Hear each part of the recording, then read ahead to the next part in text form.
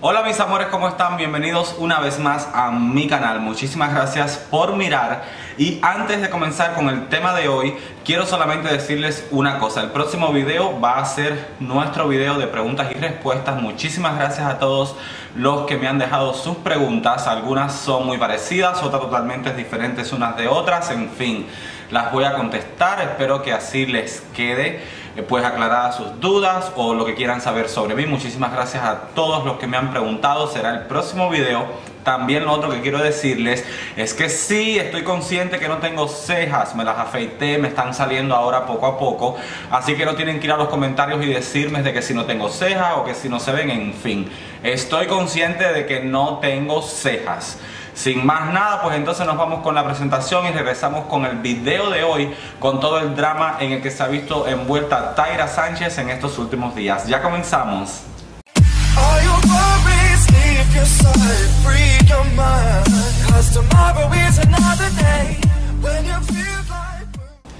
Antes de entrar en el tema les quiero recordar que por favor si les gusta el canal se pueden suscribir sencillamente pinchando el botoncito rojo que dice suscribirse y también activa la campanita de notificaciones para que nunca te pierdas un video nuevo. Si el video te gustó regálame un like, si no te gustó dame un dislike, comenta, comparte y como siempre les digo síganme por mis redes sociales Facebook, Instagram, Twitter porque siempre estoy posteando contenido. Entonces, sin más, pues comenzamos con el tema de hoy. Como ustedes saben, este ha sido un año muy tormentoso para Tyra Sánchez. Ha tenido problemas de estar amenazando a compañeras de RuPaul Drag Race al punto de que fue eh, vetada del DragCon y, eh, o sea, siempre está buscando mucha polémica, creándola, inventándola de donde no la hay. Algunas personas la apoyan, otras le tienen un odio que no pueden verla ni en fotos. La cuestión es que el último drama en el que se vio envuelta es que hizo un post de que RuPaul Drag Race y World of Wonder, que es la casa productora del reality show, la habían estafado, la habían robado.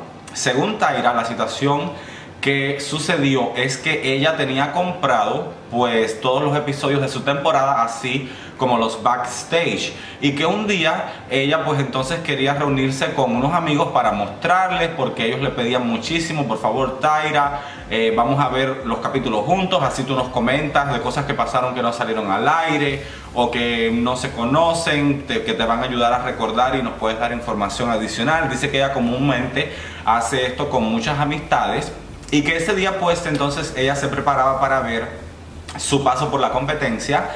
Y entonces eh, que cuando ella lo va a reproducir en su iCloud de su cuenta de iTunes el contenido no estaba disponible. Ella dice que ella llama a las personas de iTunes y que le dijeron de que el contenido no estaba disponible porque eh, World of Wonder que es la casa productora de RuPaul Drag Race, había retirado todo el contenido de iTunes, a lo que ella se enojó muchísimo porque según ella declara, ella había pagado por todo este contenido. Para las personas que no viven en Estados Unidos, les cuento cómo funciona. iTunes es una tienda virtual que pertenece a la compañía de Apple en la que ustedes pueden comprar música, películas, conciertos, pueden comprar videos musicales, pueden comprar libros, en fin. Es una tienda virtual donde ustedes pueden acceder a todo este tipo de, de tecnología, pero o sea, todo este tipo de cultura de arte, pero desde el punto de vista de una plataforma digital. Se supone que una vez que tú compras un contenido, también puedes comprar reality shows, en fin, de todo. Se supone que una vez que tú compras tu contenido, pues como ya está pago, deba de estar por siempre en tu cuenta. Ella dice que ya tiene una colección de películas que sobrepasa las 300 películas porque le gusta mucho, que eso es como que su pasatiempo, su hobby y que entonces cuando ella busca el contenido no lo encuentra. Ella se comunica con Apple, con iTunes, entonces le dicen eh, que no es culpa de ellos, que es que World of Wonder fue quien retiró eh, todos estos programas de la cuenta. A lo que ella se pone súper brava porque dice que cómo es posible que se ella pagó con eh, por ese contenido, que cómo entonces puede desaparecer de su cuenta cuando es algo que ella compró. Es como si ahora tú me dijeras que yo compro esta cerveza, esta michelada que tengo aquí, salud para todos, y que entonces yo tengo la michelada y de momento la michelada se desaparece. Si yo pagué por ella, como la michelada se va a desaparecer porque, por ejemplo, la compañía de cervezas que la vende me la haya quitado. No, cuando usted compra algo que está en soporte físico, usted lo compró, no hay quien se lo pueda quitar, pase lo que pase, quiebre la compañía, cierre, vende el negocio, en fin no se le puede quitar. Entonces, ¿cómo es posible que todas estas plataformas digitales tengan la potestad, tengan el poder de quitarte algo por lo que tú pagaste y que tú compraste? En eso estoy de acuerdo con Tyra. La cuestión es de que entonces ella dice que va a denunciar a RuPaul y que va a denunciar a The World of Wonder porque le han robado.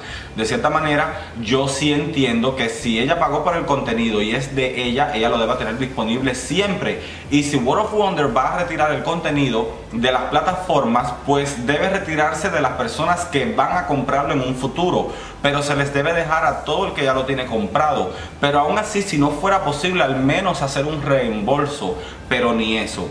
En fin, ella causó mucha polémica. Ella les dijo a las personas que por favor que revisaran en sus cuentas si alguien había comprado este contenido también y revisara si ellos lo podían disfrutar porque ella no podía.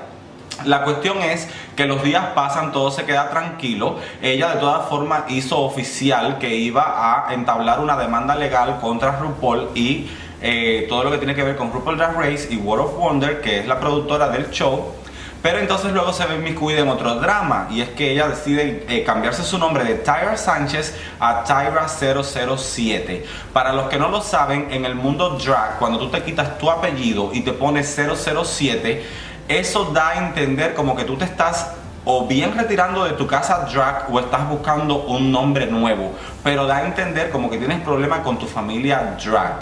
Entonces, ella causa mucha polémica, a lo que causa eh, una discusión enorme porque su familia drag es muy conocida, su madre es Angélica Sánchez, que es una drag super consagrada, Miss Florida FI 2016, en fin, es una persona que tiene trayectoria. Su abuela es Tacha Sánchez, que es la actual reina Miss Continental, acaba de ganar la corona, que es un título súper, no tanto nacional, sino incluso internacional mundial y es también una drag que tiene una trayectoria inmensamente grande.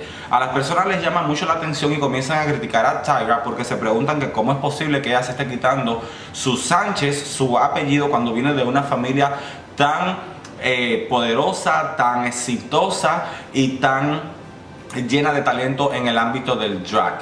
Ella se mantiene en silencio hasta que finalmente ella pues pide públicamente unas disculpas y vuelve a recuperar su apellido ya que ella dice de que nunca fue con la intención de herir, que ella sencillamente estaba tratando como de buscar eh, quizás un nombre nuevo para impulsar su carrera musical, en fin, ella dio a entender como que lo estaba haciendo tratando de buscar un seudónimo, como por ejemplo como hace Beyoncé que se llama Beyoncé Knowles, pero se pone Queen Bee o se pone, en fin, ella quería más o menos como que hacer esto, buscarse tipo un seudónimo para su carrera que no fuera Tyra Sánchez, aunque ella siempre fuera Tyra Sánchez y la reconocieran entonces por ese seudónimo. La cosa es que la controversia fue tan grande que tuvo que volver a poner en sus cuentas eh, de sus redes sociales su apellido de vuelta. No obstante eso, su madre y su abuela se comunicaron con ella, les dijeron que pensara bien lo que estaba haciendo, que si ella pensaba que eso era lo correcto. La cuestión es que parece que ella, eh, cuando se le bajó el vuele, lo consultó con su almohada y la cosa es que regresó de nuevo y ahora se vuelve a llamar Taira Sánchez.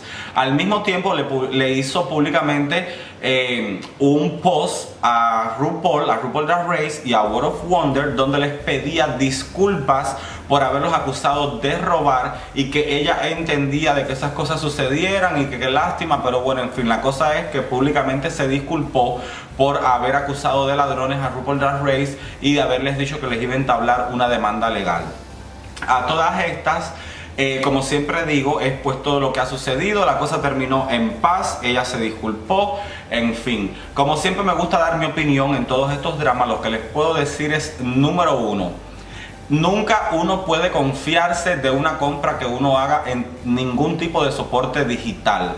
Si ustedes quieren de verdad tener algo de por vida, tienen que hacer como por ejemplo hacemos nosotros los cubanos. Yo no sé si ustedes, mis latinos de otros países, hacen igual, pero por ejemplo nosotros los cubanos lo que hacemos es que cuando queremos tener de por vida algo digital, lo pirateamos, lo copiamos, lo descargamos, buscamos el link, buscamos la forma, el método, la vía de poder bajarlo a nuestro ordenador y después por seguridad lo ponemos en un CD y además en un disco duro externo.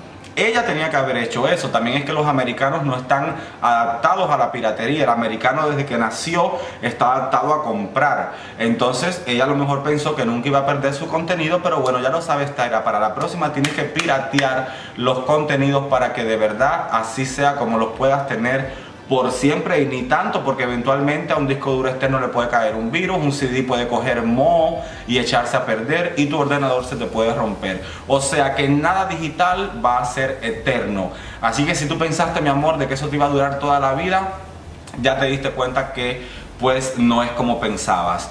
Respecto al tema familiar, yo pienso de que eso es una decisión muy propia. Entiendo que ella quiere tener quizás un seudónimo o un nombre nuevo por el cual ella puede impulsar su carrera musical y que entonces esto no necesariamente quiera decir de que tenga problemas con su familia drag.